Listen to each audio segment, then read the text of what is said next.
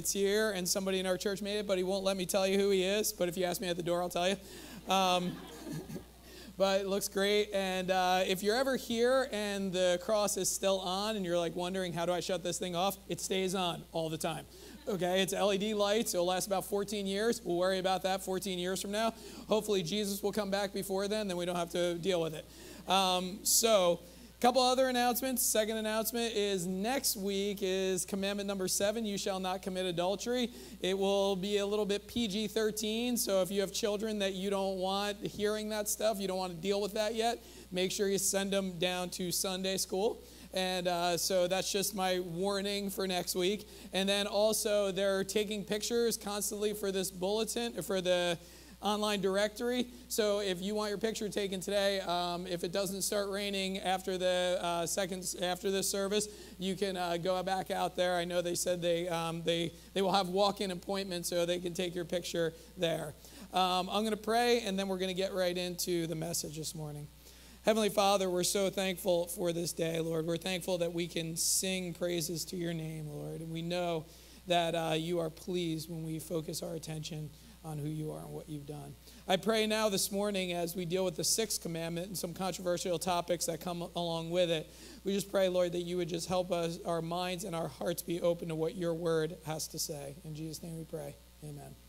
So, for the last two weeks, we spent in commandment number five. We learned about parenting. Many of you went home and tried what you learned. So, this week, in timely fashion, we're going to deal with the sixth commandment, which is you shall not murder. Exodus 20, verse 13, you shall not murder. This will help keep your kids alive because you probably tried some of these things and maybe they didn't work and you're like, what's going on here? Ah. Um, so here's the thing this is not the reason why this commandment came next, but this commandment is here, uh, number six, and we're going to deal with it today. So today we're going to study you shall not murder. For clarification purposes, I want to say, this commandment is not you shall not kill. It's actually you shall not murder. And some people say, well, what's the difference? Authors Kevin DeYoung and Albert Mohler help us to understand that the Hebrew word for murder is ratzak, and that is only used 13 times in the Old Testament. And the Hebrew word for kill is kotel, and that is used hundreds of times in the Old Testament. So there is a difference. What is the difference? Well, murder is unauthorized or unlawful taking of a life or taking of a life with malicious intent. Kill is cause of death. So basically, if you kill somebody in a car crash, your intention wasn't to murder them, your intention wasn't to take their life, it was an accident. So there is a difference. So murder is an offense to God. More importantly, it's an offense to God because people are made in the image of God. Let me just tell you this animals are not made in the image of God, people are made in the image of God. So there is going to be four controversial issues that we have to deal with when it comes to thou shalt not murder. And it's based around the image of God and the fact that we are image bearers of God. After I'm done with those four controversial topics, then we're going to deal with the heart issue of murder, which is anger, and something that we all kind of have a tendency to deal with at some time in our life. So let's start with the first uh, controversial topic, and that is capital punishment. Capital punishment. Um, so basically, Genesis chapter 9, verse 6 says this Whoever sheds the blood of a man, by man shall his blood be shed. For God made man in his own image. Now, this commandment or this, this, um, this scripture was actually set before the law. This was set before the law, and most theologians believe that the sixth commandment does not nullify what was established in Genesis chapter 9. So basically, here's how it works God allows the governing authorities to punish by the death penalty when it comes to life for life. So the reason it's stated is this For God made man in his own image. So basically, if somebody maliciously takes someone's life or has no authority to take someone's life, God takes an offense because the person is made in his image. So then the question becomes does this mean the death penalty has to happen if someone murders someone? And I would say not necessarily. There can be movements towards rehabilitation of the offender, there can be mercy. And real, realistically, as Christians, we should never be overexcited about the death penalty actually happening. Okay, we, we obviously want to extend grace, but there are situations where the death penalty is warranted and is going to be practiced. So, this is a hugely debated topic within Christianity. If you've talked about this before, um, maybe if you're in college, this is like this is a hugely debated thing because some would say, well, if it was morally wrong for somebody to take somebody's life, how does it make it morally right for that person then for their life to be taken? And we point back to Genesis chapter 9. Many people will say something like this when they're debating this, especially in Christian circles. They'll say, well, Jesus would never agree with the death penalty. Have you ever heard that before? Jesus would never agree with the death penalty. And they will cite the account of the woman caught in adultery. And some of you might remember that passage. There was a woman that she was caught in adultery, and the Pharisees and teachers of the law brought her to Jesus. And they said, Listen, Jesus, the law says that this woman is caught in adultery. She should be stoned to death. And if you remember, Jesus said, Okay, he who was without sin throw the first stone. Do you remember the, the rest of the, the passage? Everyone dropped their stones and walked away. So some would say, well, Jesus doesn't agree with the death penalty because here's what he said like, nobody's perfect and you don't have the right to do that. The problem, okay, the problem with using this passage to cite this is this passage, they were referring um, a law under the Levitical law. And if you look at the Levitical law, there's a lot of um, capital punishment type issues that don't connect with life for life. This woman committed adultery. So basically, we can't use this passage to say, okay, Jesus wouldn't agree with the life for life death penalty. So now, currently in our country, I don't know if, if you know this, and I'm not going to get political or debate this or anything, but there's 30 states that have the death penalty. And the debate obviously is not going to be settled here. But there's two things that we need to remember as Christians when this topic comes up, okay? There's two things. The first is Genesis chapter 9 talks about the life for life being a reasonable punishment in cases of murder, okay? So that's what the scriptures say. The second is we as believers defer to our governing authorities, okay? We as believers defer to our governing authorities. Now, Paul, if you remember in Romans chapter 13, he talks about the governing authorities. And he actually says, um, he actually says, don't look at that yet. Um, he actually says this. He, he says, God placed all the governing authorities in, in who's ever in charge, they're in charge because God had his hand in it. Then he goes on to Romans chapter 13, verse 4, and it says this But if you do wrong, be afraid, for he does not bear the sword in vain. The he is talking about the governing authority. For he is the servant of God an avenger who carries out God's wrath on the wrongdoer. So now what this passage is telling us is this is God places governing authorities in charge to actually punish the wrongdoer and protect those who are doing good.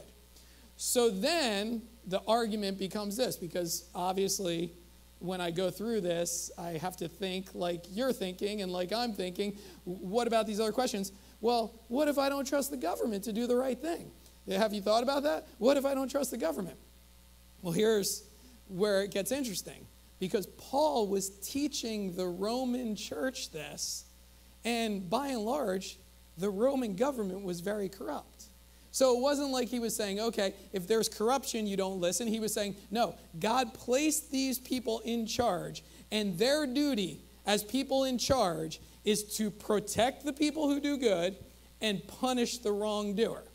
And then, in many senses, God's basically saying, if they don't do that, I'll take care of them. Okay? I'm going to make sure they're accountable for what they didn't do or what they did do. So that's how we as Christians view capital punishment. The second issue is just as controversial, and it's the issue of abortion. I want to be extremely sensitive because some of you have people in your family, maybe someone that you love, a friend, who has maybe had an abortion. Maybe even some of you here have had an abortion in the past. You may be bearing the burden of shame and guilt. You may be justifying it because our culture says that it's lawful. So I obviously want to be sensitive to that. But our culture, here's what our culture has done they have packaged abortion by telling us that it's a woman's right to choose. Now, some of you will even say, based upon what I'm teaching, I want to take away rights from women. But let me just tell you this that is so far from the truth, okay? I believe that men and women have rights, and I believe that it's not any of our rights to take a life. And that's truth from the scriptures. It's not our right to take a life. We're all made in God's image, and life should be respected, cared for, and protected. Now, the debate around abortion used to be this well, when does life really begin? Do you remember that? In the 80s and 90s, people would say, well, when does life really begin? But in all honesty, now no reputable scientist or doctor is debating this anymore. In fact, we, we're finding this that the secular world, the medical world, is basically testing fetuses at early stages to see if there's problems with them. There's actually been fetal surgeries to actually help the fetus to thrive if there is something wrong. So obviously, the medical profession is seeing the fetus as a life. But this is not a surprise to us, okay? Because here's what the scriptures say. Let's look at Psalm 139 13. It says, For you form my inward parts. You knitted me together in my mother's womb. That wasn't written by a doctor, okay? That was written by the psalmist who is saying, This is how God creates life. Okay? You formed me together in my mother's womb. Then it goes on, Psalm 139 16. It says, Your eyes saw my unformed substance. In your book were written, every one of them, the days that were formed for me, when as yet there was none of them. You know what that's saying? God knew you before you were even born. He knew each day. He knew the purposes He has for you. He knew that you are a life that is valued and worth something, just as the fetus is a life that is valued and worth something. I believe the abortion breaks the sixth commandment, and that's why our church supports ministries like Open Door Pregnancy Center up in Toms River. So they give women options that feel like they have no options, and they help them and assist them to be connected with those options so they do not displease the Lord and make the right decision with that baby. They also counsel women that had an abortion in the past and maybe didn't know the internal struggle that it was going to bring upon their life. I mean, this is a sensitive topic and it's controversial, but the truth of the matter is is there's people out there that can actually help guide and protect people from making this decision or if they've made this decision can help them through the, the, the guilt and the shame or whatever they're feeling. Not pressed upon by people, but by looking at what God's word has to say. The third controversial issue is suicide. Now, many of you may have heard or been taught that if you commit suicide, it's the unforgivable sin. Has, has anybody ever been, heard that or been taught that? If you commit suicide, you are pretty much like unforgiven. Let me just clear things up. The only unforgivable sin is rejection of Jesus, okay? That's the only unforgivable sin. Jesus Christ loves each one of us. We are sinners and we need a Savior. Jesus Christ is that Savior. He died on the cross to pay the price for our sins. Three days later, He rose again to prove that He is God. And the scriptures say this all who believe will have eternal life. They will not be condemned. But you know what it says about those who do not believe? That they will be condemned. They will have to pay for their sins. Their sins will not be forgiven. So, in the case of suicide, a person is breaking the sixth commandment, but that does not mean they lose their salvation, okay? Basically, the argument there is you're sinning as you're dying, so you must go to hell. But the truth of the matter is, is there's many sins that you can be committing while you're actually dying, okay? So it's not just suicide that that would be the case. See, when a person believes in Christ as their Savior, they're forgiven of their sins, past, present, and future. If a person doesn't believe in Christ, they're rejecting him, and that is the unforgivable sin. So the scriptures talk a little bit about suicide. There's actually five instances of suicide in the scriptures, and they are all in the context of shame and defeat. In fact, even when a noble man like Job, during his suffering, actually wants to die, God is actually not pleased with that request, okay? God is not pleased. He's not like, "Okay, I see where you're coming from, Job. Yeah, you should probably No, he doesn't he doesn't treat Job like that. In fact, in Job 38:3, it says this. This is what God says to Job. Brace yourself like a man. I will question you, and you shall answer me. And then in chapter 38, basically what God does is the entire chapter, Job is asking God's question, or, or God is asking Job questions. Don't you know who made this whole world? Don't you know who made you? Don't you know who orchestrated all the situations that we will go through? Where were you when I created everything, Job? Do you think you know better than me? That's what God is saying to Job. So basically, what's happening here is Job is saying, I don't even want to live anymore. And God's like, whoa, whoa, whoa, whoa, whoa. Okay? You don't have the control over that. You shouldn't be asking those questions. I'm the one who asks questions. So God's not pleased with Job at this point because he was giving up and he didn't trust that God had a plan for his situation. Now, I have to say this if anyone here has feelings of suicide, you have to reach out for help. You have to reach out for help. And let me just tell you this even though I might not even know you, I know these two things are true about you Jesus loves you, and he has a plan for your life. How do I know that? He died for you. He died in your place for your sins. He loves you more than you love yourself, more than your family loves you, more than anybody loves you. He loves you. And secondly, I know He has a purpose for you. And the reason why is this you're here, okay? You're still breathing. If you're still alive, God has a purpose for your life. So no matter what your situation is, no matter what your situation is, He has a purpose for you. So if you're having those types of feelings of depression and, and doubt and, and whether this life is worth living, you need to reach out to somebody and talk with somebody because you are precious and you're made in God's image and He loves you dearly and He has a purpose for your life. The final controversial issue is this war. Is killing during times of war breaking the sixth commandment? Now, war is never an ideal situation, but the concept of a just war is when all efforts of peace are tried, war becomes the only option that will save more lives than lose lives. See, the problem is this we live in a sinful world, and there are evil people that need to be stopped and can only be stopped by force. As believers, we can't stand by and allow things like genocide to happen. If we have the means to stop it, we can't allow people to be enslaved and mistreated. We can't let wrongdoers continue to do wrong if we have the means to actually stop that.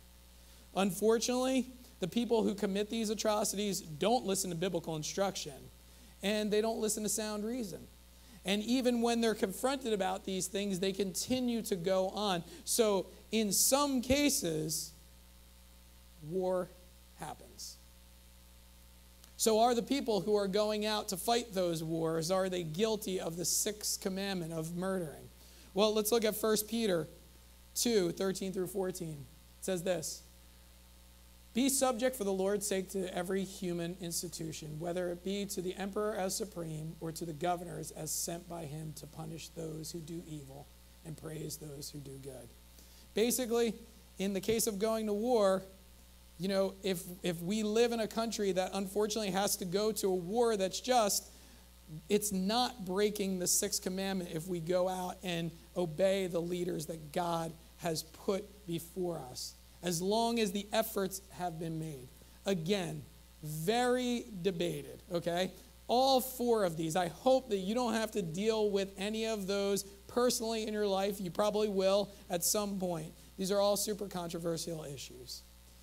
But the next issue, the final issue, which is not controversial, is something that we're all going to have to deal with. And that is the issue of anger. And now we come to this point of anger, and people say, Well, what's the big deal about anger? Don't read that scripture yet. What's the big deal about anger? Okay? People say, How is anger connected to murder? Well, Jesus actually connects anger with murder. And here's what he says you have heard that it was said to those of old, You shall not murder, and whoever murders will be liable to judgment. But I say to you that everyone who is angry with his brother will be liable to judgment. Whoever insults his brother will be liable to the council, and whoever says, You fool, will be liable to the hell of fire. Now, here's what Jesus does He takes this murder command and he brings it to the heart. Because most of us would probably say this, right? You go through the Ten Commandments, you're like, Thou shalt not murder. Okay, that's definitely one I'm not doing, right? But Jesus is saying, No, actually, if you harbor anger in your heart, you're actually guilty of murder. Now, the truth is, our anger can lead to cruelty and violence, and this could obviously be damaging to other people. But the issue of anger runs deep in us. Now, it not only can manifest itself in us doing violent or cruel things, but it actually hurts us inside. A man named John Shiner, he's an anger management coach in Danville, California, and they actually called him as a consultant for the Pixar movie Inside Out. You could throw up our little anger guy. Anybody see this movie? Remember that movie? It's about a kid, and you know they have all the emotions going on, on inside their brain, right? And there's little characters, and you kind of see how things work. Well, they actually did research and consulted with people like John Shiner, who was an anger management consultant and, and counselor, and uh, basically what they, what they found were many things that they didn't even realize that anger actually impacts. Here's what Shiner says He says, There's a list of ways chronic anger can affect a person's well being. Listen to this. He says, Anger has been linked with obesity, low self esteem, migraines, drug and alcohol addiction, depression, increased heart attack risks, lower quality relationships, higher probability of abusing others emotionally or physically or both, higher blood pressure and stroke. Chronic anger also leads to increased anxiety, insomnia, mental or brain fog, and fatigue. Anybody want to be angry today? Sounds pretty good, doesn't it? Okay. The benefits are endless, aren't they? Okay, for angry people. See, here's the problem anger just messes with everything. You know, when you're angry, it's not only that you're disobeying God and guilty of murder, he's saying you're messing yourself up. So then we have to come to this issue is this. Well, how do I overcome anger? How do I overcome anger? And the scriptures actually teach us how to overcome anger. Now, the world will say this about overcoming anger. They're like, think pleasant thoughts, right? Or they'll say, if you're really angry, go in your room and punch a pillow instead of somebody's face, okay? Don't do that, okay? That's not what, that's not healthy, okay? Basically, what you're doing is you're just ignoring the fact that something is going on inside you that you need to overcome. So, how do we overcome anger as believers? The first is we have to confess it to Jesus.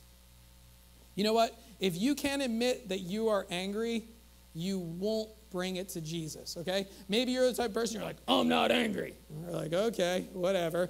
Um, tone it down a little bit. Here's the thing if you can't admit it, you're never going to confess it.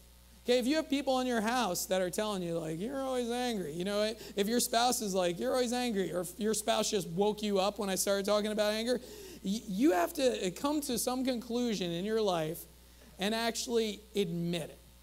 So, admitting that you have a problem is obviously the first step. We can't live in denial. So, the first step is admitting that problem, and then we need to confess it. 1 John 1 9 through 10 says this If we confess our sins, he is faithful and just to forgive us our sins and to cleanse us from all unrighteousness. Know this if you are a believer in Christ, no matter what sin it is, if you confess it, He's faithful and just to forgive you of that and to cleanse you of it. Meaning this, He wants to help you out of it. He doesn't want you to stay in that anger. Then he goes on to say, if we say we have not sinned, we make him a liar and his word is not in us. So basically, if you're living in denial, basically what you're saying to God is, I'm right, you're wrong. I don't have a problem. I don't know what you're talking about. You're a liar. Basically, that's what you're, you're saying this to God. When you won't admit your sin, you're actually making God out to be a liar because you actually are sinning. So don't get so caught, caught up in denial and try to prove God wrong or try to act like this isn't an issue for you. So the first thing you do is confess it. Second thing that we need to do is forgive like Jesus forgave. Now, maybe you're angry because someone wronged you. Maybe someone wronged you and they're not sorry. Maybe they continue to treat you badly. But the truth is, is we're called to forgive. Do you remember when Jesus was on the cross? After he was beaten, abused, flogged, spat on, called names, carried his cross, nailed to the cross, put up on the cross, people mocked him, people scorned him. You know the whole picture. Jesus was hanging on the cross and he said a few last phrases. And when he was on the cross, he looked down at the people, right? And he said, You just wait till I'm coming back because I'm going to put the smack down, right? It's not what he said, okay? What did he say? He looked up to his father and he said, Father, forgive them, for they know not what they do. Now, at this point, some of you are saying, well, the person that wronged me knows what they did. Well, that's not the point, okay? That's not the point. Jesus forgave those who put him on the cross. Jesus forgave them because, guess what? When we don't forgive, all it does is cause more anger. All it does is cause bitterness. All it does is cause hatred. So we have to look to Christ and we have to say, you know what, Jesus? Like, even, even if they meant to do that, I'm forgiving because you've told me to. And you know why he tells you to? Because he knows that it's best for us. What are you really doing to that person by holding on to that anger? By not forgiving them and holding on to it? You're not doing anything. You're just making yourself a miserable person. You're making yourself a person that no one wants to be around. You're making yourself the person that really just repels other people because of your anger. And I know at some cases in, in our life, we, we justify it, right? I'm only angry because you made me angry. I'm only angry because you did that. I'm only angry because I had a stressful day at work. I'm only angry because I got a phone call that I didn't expect and it brought bad news. I'm only angry because, and that's why I lashed out like that. So we continue to justify. Which brings us to the next way that we overcome anger, and that is we need to let Jesus take control. You know what? Most of the time when we're angry, it's because we don't have control. Most of the time when we're, when we're angry, it's because we don't have control. We don't have control of a situation, maybe, or a person. Maybe somebody's just making us really angry and they will not listen. They will not do what they need to do. They will not fall in line. Maybe you're a parent and you're like, I'm always angry because my kids don't do what I want them to do. But the truth of the matter is, you're angry because you feel like you don't have control. And because of that, you've lost control. Now, here's what we need to do we need to let Jesus take control. And I have good news for you you're not in control anyway. He is in control. By you letting him take control, you're not giving him anything he doesn't have control over. You're just submitting yourself to him and saying, you know what? You have control, Lord. You're in control of this situation. There's no point in me really stewing over this, ruminating over this, thinking about it, talking about it, worrying about it, and being angry about it all the time. Well, how do I know this? Romans 8 28 says this And we know that for those who love God, all things work together for good, for those that are called according to his purpose. So basically, what that's teaching us is this listen, like, God has control. The situation might look bleak. You may have been wronged. You know what? God is going to use this in your life. So, whatever you're angry about, what are you going to learn from it? God is in control of the situation, He has a purpose for it. He's teaching you something, He's helping you learn something, whatever it might be. I mean, I can go on and on on this point because the truth of the matter is, is every situation that we come to, there's something to learn. And if we don't learn it, we're just going to keep on going through it. And guess what? If it's an anger issue, you're just going to become more and more miserable. You're going to be physically unhealthy, emotionally unhealthy, and spiritually unhealthy. So it's in your best interest to actually say, well, you know what, Jesus? What do you have for me here? What do you want me to do? What do you want me to learn? And then finally, ask Jesus to give you rest. Obviously, based upon that list of negatives, anger takes its toll on us. Emotionally, physically and spiritually. Do you realize you are working hard to keep angry? Do you realize that? You're working hard. You're thinking about it. You're ruminating over it. You're talking to other people about it. You're going over in your mind over and over, keeping yourself angry, working yourself into unhealth. Do you think that's a good idea? I don't think there's anybody in this room right now that think that that's a good idea, but we do it.